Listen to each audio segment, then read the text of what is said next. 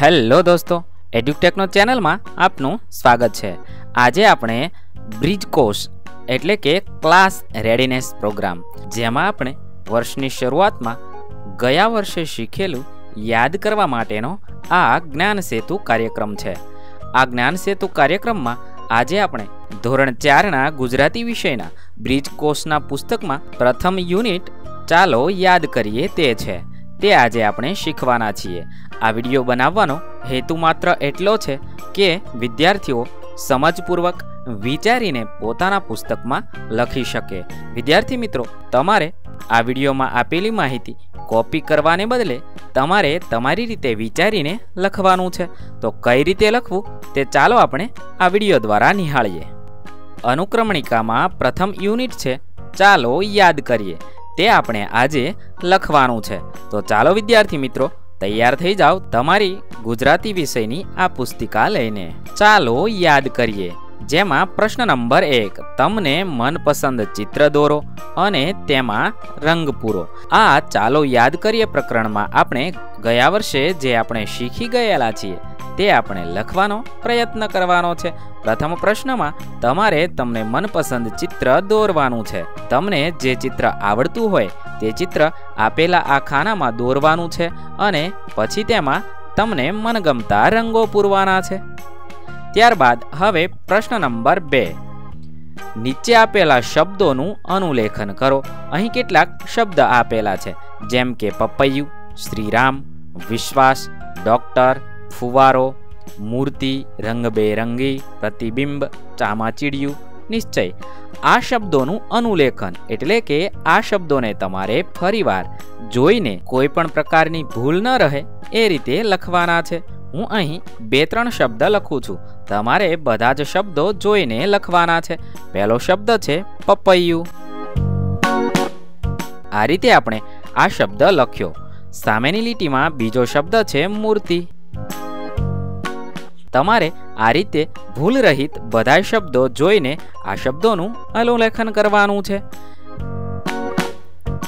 હવે પ્રશ્ન નંબર ત્રણ. શબ્દોને યોગ્ય ક્રમમાં ગોઠવી વાક્ય લખો. અહીં કેટલાક વાક્ય આપેલા છે. આ વાક્યોમાં શબ્દ આડી અવળી થઈ ગયા છે. આ શબ્દોને આપણે યોગ્ય ક્રમમાં ગોઠવી અને વાક્ય અહીં ફરીથી લખવાનું છે. સવાલ નંબર એક, રમે છે? મેદાનમાં છોકરીઓ. આ વાક્યને આપણે ગોઠવીએ તો વાક્ય બની શકે કે મેદાનમાં છોકરીઓ રમે છે. તો આપણે આપેલી આ લીટીમાં આપણે લખવાનું છે કે મેદાનમાં છોકરીઓ રમે છે. આ રીતે આપણે આ વાક્ય યોગ્ય ક્રમમાં ગોઠવી અને લખવાનું છે. બીજું વાક્ય છે, ચરે બકરીઓ છે વનવગડામાં. આ વાક્યને યોગ્ય ક્રમમાં ગોઠવીએ તો તેનું વાક્ય થશે, બકરીઓ વનવગડામાં ચરે છે. તો આપણે અહીં વાક્ય લખીએ.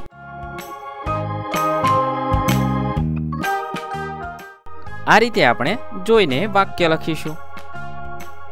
ત્રીજું વાક્ય છે ગાડીમાં છે ગીતા બેઠી. તેને યોગ્ય રીતે ગોઠવતા આ વાક્ય બનશે, ગીતા ગાડીમાં બેઠી છે. ચોથું વાક્ય છે, રજા રવિવારની કાલે છે. તે વાક્યને યોગ્ય ક્રમમાં ગોઠવીએ તો વાક્ય બનશે, કાલે રવિવારની રજા છે.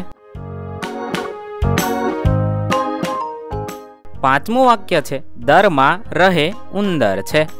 તેને યોગ્ય ક્રમમાં ગોઠવીએ તો બનશે ઉંદર દરમાં રહે છે. આ રીતે આપણે શબ્દોને યોગ્ય ક્રમમાં ગોઠવી અને વાક્ય ફરીથી લખીશું. હવે પ્રશ્ન નંબર ચાર, સૂચના મુજબ શબ્દો લખો. સવાલ નંબર એક, મથી બનતા પાંચ શબ્દ લખો.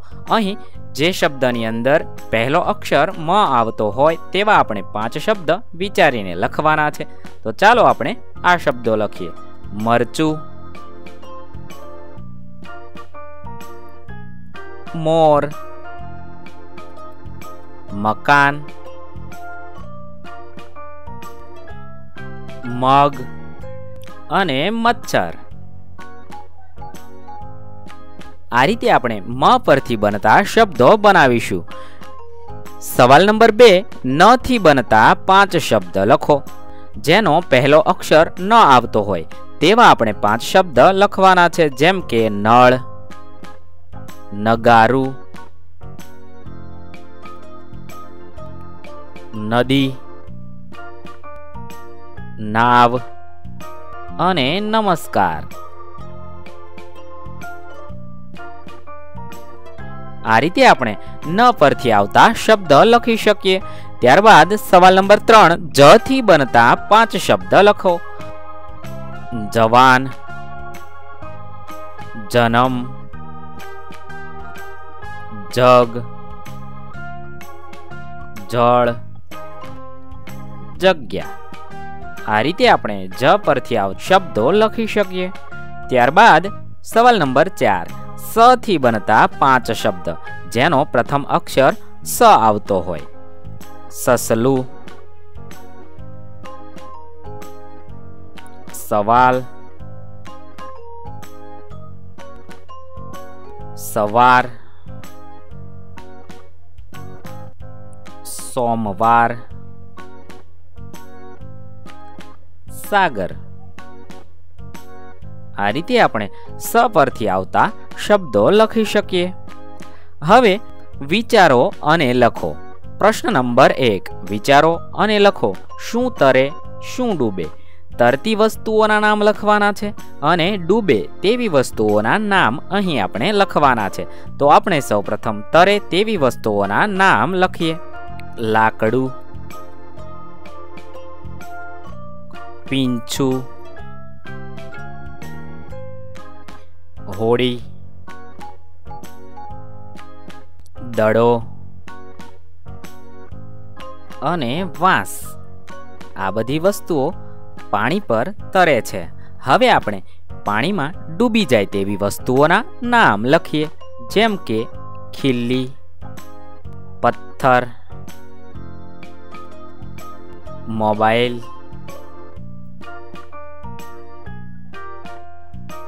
ગ્લાસ અને ચાવી. આ બધી વસ્તુઓ પાણીમાં ડૂબી જાય છે. આના સિવાય તમે વિચારીને નવી વસ્તુઓના નામ પણ લખી શકો છો. હવે પ્રશ્ન નંબર બે, ચિત્ર જોઈ શબ્દ પૂરો. અહીં દૂધીનું ચિત્ર છે અને અહીં ખાલી જગ્યામાં આપણે દૂ લખશું એટલે શબ્દ પૂર્ણ થશે. દૂધી. બીજું ચિત્ર ટમેટાનું છે. ટમેટું. ત્રીજું ચિત્ર તલવારનું છે. તેથી આપણે લખીશું ત, લ, વા, ર. ચોથું ચિત્ર તરબૂચ છે. તેથી અહીં લખીશું ત, ર, બુ, ચ. આ રીતે આપણે આપેલા અધૂરા શબ્દોને પૂર્ણ કરીશું. હવે પ્રશ્ન નંબર ત્રણ, ઉદાહરણ પ્રમાણે લખો. જેમ કે, કાચી કેરી, પાકી કેરી. તો અહીં લખી શકાય, કાચા બોર, પાકા બોર. એવી રીતે કાચું પપૈયું, પાકું પપૈયું. એવી જ રીતે કાચા કેળા, પાકા કેળા. એવી જ રીતે કાચો ઘડો, પાકો ઘડો. આ રીતે આપણે આપેલા ખાલી ખાનાઓને પૂર્ણ કરીશું. હવે પ્રશ્ન નંબર ચાર, સાચા શબ્દ પર ખરાની. અને ખોટા શબ્દ પર ખોટાની નિશાની કરો. આ શબ્દ છ સ્વ, સ્વચ્છ. આ શબ્દ ખોટો છે અને આ શબ્દ સાચો છે. હનુમાન અને હનુ નામ તો આ શબ્દ સાચો છે અને આ શબ્દ ખોટો છે. રમકડા, રાકમડા. આ શબ્દ સાચો છે, આ શબ્દ ખોટો છે. વસરાદ, વરસાદ, આ શબ્દ ખોટો છે અને આ શબ્દ સાચો છે. બિલાટી અને બિલાડી, આ શબ્દ ખોટો છે અને આ શબ્દ સાચો છે. આ રીતે આપણે જ્યાં સાચો શબ્દ હશે, ત્યાં ખરાની નિશાની અને ખોટો શબ્દ હશે, ત્યાં ખોટાની નિશાની કરીશું. હવે પ્રશ્ન નંબર પાંચ, સુ, સમ, કુ નો ઉપયોગ કરી શબ્દ બનાવો.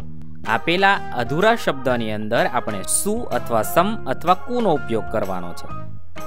અહીં ગંધ લખેલું છે. તેથી અહીંયા શું લખીશું. સુગંધ ટેવ.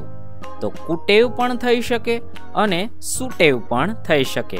અહીં લખીશું. કુટેવ. આની સિવાય તમે સુટેવ લખવું હોય તો પણ લખી શકો છો. ત્રીજો શબ્દ છે લેખન. તો શું લેખન? આ રીતે આપણે આપેલા અક્ષરનો ઉપયોગ કરી અને શબ્દ પૂર્ણ કરીશું. હવે પ્રશ્ન નંબર છ, નીચે આપેલ શબ્દોને વાંચો અને જોઈને ખાનામાં લખો. તેમજ તેના જેવા બીજા શબ્દ બનાવો. યજ્ઞ. તો તેનું અનુલેખન કરવાનું છે. યજ્ઞ. તેના જેવો જ નવો શબ્દ બનાવી શકાય. સુજ્ઞ શ્રુતિ. તેનું અનુલેખન કરીએ. શ્રુતિ. તેના જેવો જ બીજો શબ્દ બનાવી શકાય. મૂર્તિ. ઋષિ. તેના જેવો જ બીજો શબ્દ બનાવી શકાય. કૃષિ. ક્ષત્રિય. તેના જેવો જ બીજો શબ્દ બનાવી શકાય. છત્રી. રૂમાલ. તેના જેવો જ બીજો શબ્દ બનાવી શકાય. રૂપલ. પછી શ્રવણ. તો અહીંયા પહેલા લખીશું શ્રવણ. તેના જેવો જ બીજો શબ્દ બનાવી શકાય શ્રાવણ. કૃષિ. તેના જેવો જ બીજો શબ્દ બનાવી શકાય, કૃતિ. ત્રિલોક. તેના જેવો જ બીજો શબ્દ બનાવી શકાય, ત્રિશુલ. આ રીતે આપણે આપેલા શબ્દ જેવા જ નવા બીજા શબ્દ બનાવી અને ખાનામાં લખીશું. આના સિવાયના તમને જો કોઈ નવા શબ્દ આવડતા હોય તો તમે તે પણ લખી શકો છો.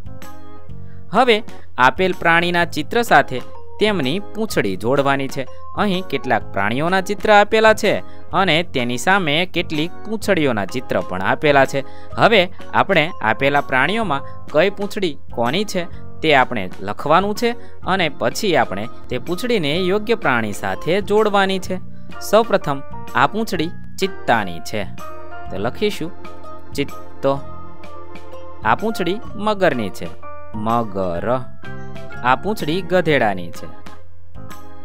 ગધેડો. આ પૂંછડી વાંદરાની છે. વાંદરો. અને આ પૂંછડી બકરીની છે. તેથી અહીંયા લખીએ બકરી. હવે આપણે યોગ્ય પ્રાણીઓ સાથે આપેલી પૂંછડીઓને જોડવાની છે. તો ચાલો આપણે હવે આ પૂંછડીઓ જોડી દઈએ. આ ચિત્તાની છે. તેથી આપણે તેને અહીં જોડીશું. આ પૂંછડી મગરની છે. તેને આપણે અહીંયા મગર સાથે જોડીએ. આ પૂંછડી ગધેડાની છે. તેને આપણે ગધેડા સાથે જોડીએ. આ પૂંછડી વાંદરાની છે. તેને આપણે વાંદરા સાથે જોડીએ. આ પૂંછડી બકરીની છે. તેને આપણે બકરી સાથે જોડીએ. આ રીતે આપણે આપેલી પૂંછડીઓ કોની છે? તેના નામ લખીશું અને તેને યોગ્ય રીતે જોડીશું. વિદ્યાર્થી મિત્રો, અહીં આપણું ચાલો શીખીએ તે પ્રકરણ પૂર્ણ થાય છે. હવે તેની પછીનું પ્રકરણ, કદમ એક, નવા વિડીયોમાં જોઈશું. થેન્ક યુ દોસ્તો એડ્યુકેકનો ચેનલ તરફથી વીડિયો નિહાળવા બદલ આપનો આભાર. આવા બીજા વિડીયોઝ નિહાળવા માટે અમારી યુટ્યુબ ચેનલ એડ્યુટેકનો અત્યારે જ સબસ્ક્રાઈબ કરી લો. આભાર દોસ્તો.